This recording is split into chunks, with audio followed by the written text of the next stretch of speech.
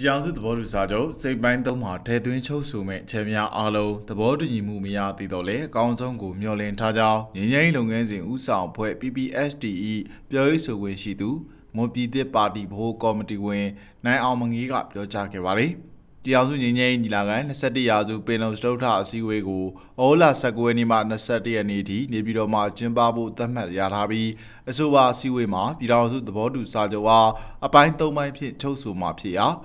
ရင်းစာချုပ်မှာထည့်သွင်းချုပ်ဆိုမဲ့အကြောင်းအများနဲ့ပတ်သက်၍အစိုးရနဲ့ NCAS EAO တို့ညှိနှိုင်းဆွေးနွေးမှုတွေပြုလုပ်နေကြရပဲဖြစ်ပါတယ်။ဒီလမ်းကြောင်းတိုင်းနှစ်ဖက်ကသွားရဆောက်ရမယ့်လမ်းကြောင်းဖြစ်တဲ့အတွက်ကြောင့်ဒါကောင်းဆောင်နှစ်ဖက်ကောင်းဆောင်တွေရဲ့ဒါကျွန်တော်တို့ကောင်းဆောင်ရောဆရာလို့တော့တမတော်ရဲ့ကောင်းဆောင်ရဲ့ဒါရတော့သဘောထားကြီးမှုဘယ်လောက်ရှိမလဲဆိုတာအဆုံးဖြတ်တစ်ခုပေါ့နော်ကျွန်တော်တို့မျှော်လင့်ပါတယ်ဒီဒါရတာလန်ဒါနဲ့တော့တုတ်တစ်ဆူမှုမဖြစ်လာနိုင်ဘူးလို့တော့မျှော်လင့်ပါတော့နော်အကောင်းမျှော်လင့်တာပေါ့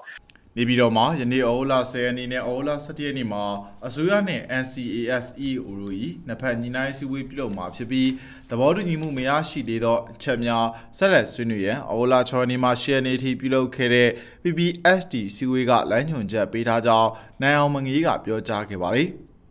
ခက်ခဲမှုတွေရှိပါတယ်ဒါကျွန်တော်တို့လည်းနားလည်ပါတယ်နော်ဟုတ်ကဲ့တော့တခုရှိတယ်ကကျွန်တော်တို့အချင်းချင်းနှစ်ဖက်မှာပေါ့နော်တစ်ဖက်နဲ့တစ်ဖက်ယုံကြည်မှုတွေတစ်ဖက်နဲ့တစ်ဖက်တန်ပြတွေက အခုဒီထိမကင်းသေးဘူးတထက်တည်းမကြသေးဘူးပေါ့နော်အဲ့ဒီချိန်တွေမှာဒါဒါကျွန်တော်တို့ဒါ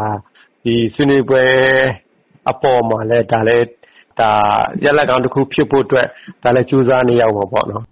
ပြည်အောင်စုငြိမ်းချမ်းရေးညီလာခံ21ရာစုပင်လုံစတုထအစည်းအဝေးမတိုင်မီအစိုးရလွှတ်တော်တပ်မတော်နဲ့ NCA စာချုပ်မှာလက်မှတ်ရေးထိုးထားတဲ့တိုင်းသားလက်နက်ကိုင်အဖွဲ့အစည်းများမှထိပ်သီးကောင်းဆောင်များတက်ရောက်ဆွေးနွေးဆုံးဖြတ်သည့်တနိုင်ငံလုံးပြစ်ခတ်တိုက်ခတ်မှုရဲစရေးသဘောတူစာချုပ်ကောင်းတယ်ဖော်မှုဆိုင်ရာညှိနှိုင်းအစည်းအဝေး JICN ကိုကျင်းပသွားမှာဖြစ်ပြီးအဆိုပါအစည်းအဝေးဟာ21ရာစုပင်လုံစတုထအစည်းအဝေးအတွက်အဓိကကြာကြောင်း၎င်းကဆိုပါတယ်။ JICN စီဝေး21ရာစုပင်လုံစတုထအစည်းအဝေးသို့ PPSD အဖွဲ့၏ယာယီအဖွဲ့ခေါင်းဆောင်ဖြစ်သူရှမ်းပြည်ပြည်လဲထူထောင်ရေးကောင်စီ RCSS အဖွဲ့ဥက္ကဋ္ဌဗိုလ်ချုပ်ကြီးရွက်စစ်ဦးဆောင်သောကိုယ်စားလှယ်အဖွဲ့အားအော်လာ9ရက်နေ့မှာ